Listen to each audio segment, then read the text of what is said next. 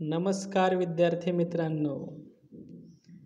तुम्ही आपले व्हिडिओ पाहत आहात छान छान कमेंट्स करत आहात लाईक्स करत आहात. म्हणून मी तुमच्यासाठी नवनवीन व्हिडिओ तुम्हाला समजेल अशा भाषेत तुम्हाला समजेल असं साध्या सोप्या भाषेत सांगत आहे. इंग्रजीतून जरी शिकत असाल तरी मराठीतून अर्थ समजून घेतल्याने तुमची कन्सेप्ट क्लिअर होत आहे. म्हणून मी मराठीतून सुद्धा ट्रान्सलेट करून सांगत आहे. मित्रांनो आज आपण आपला जो सेकंड चॅप्टर आहे history and the concept of time मी यापूर्वी first lesson third lesson fourth lesson आणि फिफ्थ लेसनचे सुद्धा व्हिडिओ बनवलेले आहेत. त्यांचा एक्झरसाईजसुद्धा व्हिडिओमध्ये दिलेला आहे क्वेश्चन्स अँसर्स तीसुद्धा तुम्ही पहा. आता आपण सुरुवात करूया history and the concept of time मागील व्हिडिओमध्ये आपण what is mean by history म्हणजे व्हॉट इज हिस्ट्री आपला जो पहिला चॅप्टर आहे तो पाहिला होता. आज आपण history and the concept of time इतिहास आणि काळ कशाला म्हणतात? टाईम कशाला म्हणतात? ते टाईमची कन्सेप्ट आज आपण पाहणार आहोत. या लेसनला फोर पार्टमध्ये डिवाईड केलेला आहे. पहिला पार्ट आहे division of time and the time line काळाचे विभाजन आणि कालरेखा. Measurement of time and methods of measuring time काळ मोजण्या काळाचे मापन कसं केलं जातं? काळ कसा मोजला जातो? टाईम कसा मोजला जातो? And the methods of measuring time आणि काळ मोजण्याच्या पद्धती. त्यानंतर हिस्टॉरिकल पिरियड ऐतिहासिक कालखंड कोणते आहेत? त्यानंतर scientific methods of measuring time and establishing age डेटिंगची method आणि सायंटिफिक मेथड ज्या आहेत काळ मोजण्याच्या ते आपण आज आपण या लेसनमध्ये शिकणार आहोत. आजचा जो व्हिडिओ आहे त्यात फक्त थोड्याशाच एक दोन तीन कन्सेप्ट आपण पाहणार आहोत. कारण की संपूर्ण लेसन एका व्हिडिओमध्ये शिकवायचं म्हणलं की माझ्या विद्यार्थी मित्रांना कंटाळा येतो. म्हणून आपण थोडक्यात तुम्हाला समजेल असं मस्त सांगूया. तर सुरुवात करूया आपण. Division of time and the time line काळाचे विभाजन आणि कालरेखा. आता आपला ई व्ही एस वन आणि ई व्ही एस टू थोडासा एकमेकांवर डिपेंड आहे बरं का? तुम्हाला शिकवताना लक्षात येईल. There are different methods of reckoning time काळ मोजण्याच्या वेगवेगळ्या पद्धती आहेत. काळाचे विभाजन करण्याच्या वेगवेगळ्या पद्धती आहेत. टाईम इज कंटिन्युअस काळ हा अखंड असतो. म्हणजे वे काळ कोणासाठी थांबत नाही किंवा त्या त्याच्यामध्ये असं काही स्टॉप नसतात किंवा त्याचे असे विभाग होत नसतात. तो अखंड चालू असतो. पहिला दिवस दुसरा दिवस तिसरा दिवस हे कधी थांबलं आहे का? नाही. काळ कोणासाठी थांबत नसतो. म्हणून टाईम इज कंटिन्युअस काळ अखंड आहे असं म्हटलेलं आहे. But for our convenience for our convenience म्हणजे आपल्या सोयीसाठी we divide it into periods आपण काळाचे छोट्या छोट्या कालखंडामध्ये काय केलेलं आहे? विभाजन केलेलं आहे. आपण आपल्या सोयीसाठी काही करतो. तस तसं मोठा काळ आहे पण काळाचं आपण काय केलेलं आहे? छोट्या छोट्या भागांमध्ये विभाजन केलेलं आहे. The method that we use for reckoning time depends on our purpose for dividing it and the manner in which we do it आता काळाचं विभाजन करणं हे आपण काळ कशासाठी काळाचं विभाजन करायचं आहे? आपला त्यामागे हेतू काय आहे? त्याच्यावर अवलंबून असतं काळाचं विभाजन करणं. For example at sunrise we say it is morning now म्हणजे सूर्य उगवला की आपण म्हणतो सकाळ झाली. द डे हॅज बिगन दिवस सुरू झाला असं आपण म्हणतो. केव्हा? ॲट सनराईज सूर्योदय झाला की सूर्य उगवला की. ॲट सनसेट वी से सूर्य मावळला की आपण म्हणतो इट इज इव्हिनिंग नाव आता सायंकाळ झाली आहे. Soon it will be night लवकरच रात्र होईल. असं आपण म्हणतो ना दिवस मावळला की. At the end of the day it becomes dark दिवस संपताना अंधार पडत असतो. अँड इट इज नाईट अंधार पडला की आपण म्हणतो रात्र झाली.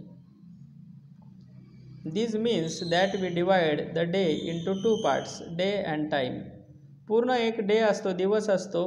त्या दिवसाचे आपण दोन भाग केलेले आहेत. पहिला आहे डे आणि दुसरा आहे नाईट डे आणि नाईट असे आपण दिवसाचे दोन भाग केलेले आहेत. आता हे भाग कसे होतात ते पाहूया. Our earth rotates around its axis at a certain speed आपण शिकलो ई व्ही एस पार्ट वनमध्ये पृथ्वी जी आहे ती स्वतःभोवती फिरत असते. स्वतःभोवती फिरत असते म्हणजे ती स्वतःच्या ॲक्सिस म्हणजे अक्षाभोवती फिरत असते. हे सुद्धा आपण पाहिलेलं आहे.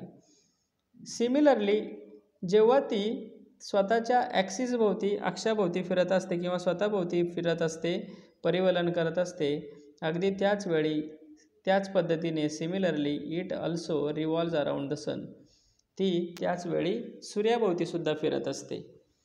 The sun has its own light सूर्याला त्याचा स्वतःचा प्रकाश असतो. We receive light from the sun आपल्यालासुद्धा सूर्यापासून प्रकाश मिळत असतो. However we see light only in day time आपल्याला सूर्यापासून प्रकाश मिळतो तेव्हा सूर्य डे टाईम म्हणजे दिवसा आकाशात दिसतो म्हणून दिवसा आपल्याला प्रकाश असतो. नाईट्स आर डार्क आणि रात्रीच्या वेळी अंधार असतो. हाऊ डज दिस हॅपन दिवसाच्या वेळी उजेड आणि रात्रीच्या वेळी अंधार. असं का बरं? As the earth rotates around its axis Prithvi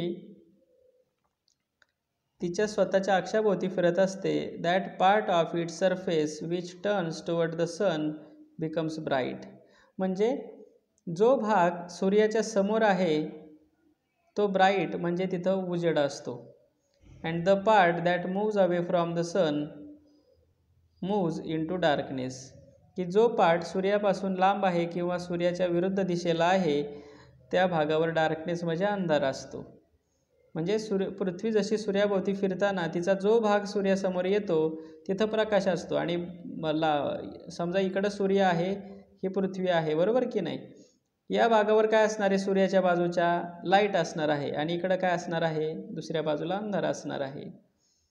The earth takes twenty four hours to complete one rotation around its own axis स्वतःच्या अक्षाभोवती फिरण्यासाठी किंवा स्वतःभोवती फिरण्यासाठी पृथ्वीला चोवीस तास लागतात. These twenty four hours are approximately divided into twelve hours आणि या दो चोवीस तासाचा आपण अंदाजे बारा तास उजेडाचा म्हणजे दिवस आणि बारा तास रात्र असा आपण सहजासहजी त्याचं डिव्हिजन करतो. बरोबर? अर्ध्या अर्धा भाग जो आहे तो दिवस आणि अर्धा काळ रात्र असं आपण त्याचं डिव्हिजन करत असतो. A period of day time and the following night together make one day एक दिवस केव्हा बनतो? दिवस आणि रात्र मिळून पूर्ण एक दिवस मिळतो की तो चोवीस तासांचा असतो ट्वेंटी फोर आवरचा असतो. Seven days from Monday to Sunday make one week one week week म्हणजे आठवडा. आता पहिल्यांदा आपण काय पाहिला? डे एक चोवीस तासांचा काय बनतो? एक दिवस बनतो. आणि सात दिवसांचा seven days make one week सात दिवसांचा काय बनतो? एक वीक एक आठवडा बनतो. आता आपण पहिल्यांदा काय पाहिलं? मी या ठिकाणी लिहितो. डे चोवीस तासांचा. सात दि दिवस एकत्र आले की काय बनतो? वीक त्यानंतर पंधरा दिवसांचा एक फोर्ट नाईट बनतो. म्हणजे पंधरवडा म्हणतो आपण त्याला मराठीमध्ये. बा डे एकच दिवस असतो. वीकमध्ये सेवन डेज असतात आणि फोर्ट नाईटमध्ये किती डेज असतात? फिफ्टीन डेज असतात. पुन्हा थर्टी डेज झाले की त्याचा त्याला आपण म्हणतो मंथ झाला एक महिना झाला. बरोबर की नाही? त्यानंतर ट्वेल्व मंथ झाले की आपण म्हणतो वन इयर झालं. हंड्रेड इयर झाले की आपण म्हणतो की सेंचुरी झाली. पहा. Seven days from Monday to Sunday make one week मंडेपासून संडेपर्यंत सात दिवसांचा एक आठवडा बनतो आहे two weeks make fortnight दोन आठवड्यांचा एक पंधरवडा बनतो म्हणजे पंधरा दिवसांचा पंधरवडा. फोर्ट नाईट म्हणजे पंधरवडा त्यात पंधरा दिवस असतात. Four weeks make a month चार आठवडे झाले की एक महिना बनतो. Twelve months make a year बारा महिन्यांचं एक वर्ष बनतं. In this manner we reckon time in bigger and bigger units अशा पद्धतीने आपण काळाचं मोठ्या आणि मोठ्या एककांमध्ये विभाजन करत असतो. One year is follow by another and when hundred years म्हणजे एका पाठोपाठ एक वर्ष जात असतात. आणि जेव्हा हंड्रेड इयर्स शंभर वर्ष पूर्ण होतात आपण म्हणतो century is completed when ten centuries completed hundred thousand years are gone म्हणजे जेव्हा टेन सेंचुरीज होतात तेव्हा किती वर्ष झालेले असतात? हंड्रेड इयर झाले थाउजंड इयर झालेले असतात. सेंचुरी म्हणजे हंड्रेड आणि अशा किती टेन सेंचुरी झाल्या की थाउजंड इयर्स कंप्लीट होतात. आणि आपण म्हणतो मिलेनियम कंप्लीट झालं. पहा दिवस एकच दिवस आहे की नाही? वन डे त्यानंतर सेवन डेजचा वन वीक थर्टी डेजचा वन मंथ फिफ्टीन डेजचा फोर्ट नाईट ट्वेल्व मंथचा काय बनतो? एक इयर बनतं. हंड्रेड इयरची एक सेंचुरी टेन सेंचुरी एक आल्या की थाउजंड इयर्स होतात. त्याला आपण थाउजंड इयर्सला आपण काय म्हणतो? मिलियम म्हणतो. आणि ही जी मेथड आहे टाईम डिवाईड करण्याची आपण आत्ता पाहिली तिला काय म्हणतात? युली युनिलिनियर डिव्हिजन ऑफ टाईम म्हणजे काळाची एकरेखिक विभागणी एका रेषीय एक रेषीय काळाची विभागणी. Unilinear linear division. कारण की एका एका लाईनने आपण येतो आहे day week fortnight month year century millennium असं आपण डिव्हिजन करतो आहे म्हणून या मेथडला काय म्हणतात? युनिलिनियर डिव्हिजन ऑफ टाईम आता आपण बघणार आहोत कॉमन इरा इसवी सणाचा प्रारंभ. आपण म्हणतो इसवी सन दोन हजार इसवी सन एकोणीसशे इसवी सन एकोणीसशे सत्तेचाळीस. असं आपण मराठीतून म्हणतो आहे की नाही? तसं कॉमन इरा की ज्याला ख्रिश्चन इरासुद्धा म्हणतात इंग्लिशमध्ये in unilinear division of time years that follow one after the other are arrange in serial order. म्हणजे एकरेखिक विभागणी जेव्हा काळाची केली जाते तेव्हा वर्षामागून वर्ष येतात आणि ती सिरियली वर्ष मांडली जातात किंवा इतिहासात त्यांची सिरियली मांडणी केली जाते सिरियल ऑर्डर. म्हणजे पहिल्यांदा समजा nineteen one thousand nine hundred one असेल. त्यानंतर नाईन्टीन टू नाईन्टीन थ्री असे इयर्स इतिहासामध्ये सुद्धा हिस्ट्रीमध्ये घेतले जातात. बरोबर की नाही? In history book also a chain of events that follow one after the other is presented in linear and serial manner इतिहाससुद्धा सांगताना लिनियर मॅनरने सांगितला जातो. म्हणजे पहिलं शिवाजी महाराजांचा जन्म मग त्यांचं बालपण मग त्यांनी स्वराज्याचं तोरण बांधलं असेल मग त्यांचं लग्न झालं असेल अशा पद्धतीने एका लिनियर मेथडने असा हा इतिहास सांगितला जातो. आणि हे अधिक सोपं हवं for this usually we refer to the common era Christian era return in short as C E or A D म्हणजे ख्रिश्चन इरा म्हणजेच काय? सी ई त्याला मराठीमध्ये इसवी सन म्हणतात. किंवा त्यालाच ए डी असं म्हणतात. ए डीचा लॉंग फॉर्म आहे ॲनोडॉमिनी आणि त्याचं मिनिंग आहे in the year of our Lord आपल्या देवाचं वर्ष त्याला हॅनो डॉमिनी म्हणतात. इ in the year of our Lord म्हणजे ए डी आणि सी ई म्हणजे Christian era. A calend the calendar we use today is based on Christian era. आपल्या घरी कॅलेंडर असतं कालनिर्णय असेल महालक्ष्मी असेल कोणतंही कॅलेंडर असू द्या ते कशावर आधारित आहे? ख्रिश्चन इरा म्हणजे सी ईवर आधारित आहे. सी ई म्हणजेच ख्रिश्चन इरा. ख्रिश्चनचा सी घेतला आहे आणि इराचा ई सी ई किंवा कॉमन इरा.